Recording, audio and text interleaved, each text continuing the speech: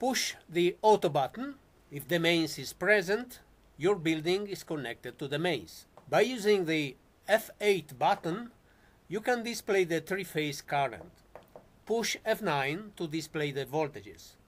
If the mains voltage is not stable, time by time the green indicator starts blinking and eventually starts the timer P0. But if the situation persists, P0 expires and the contactor of the mains opens. The mains failure P1 timer counts down and then, after a programmable delay, it starts the engine.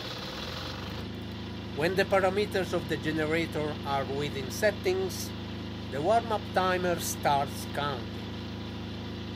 Finally, the contactor KG connects your building to the generator.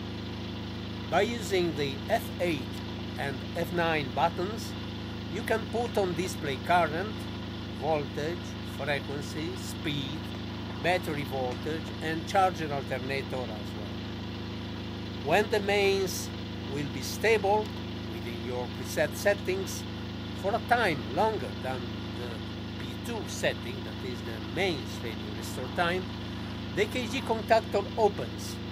The KM contactor closes after a programmable changeover delay.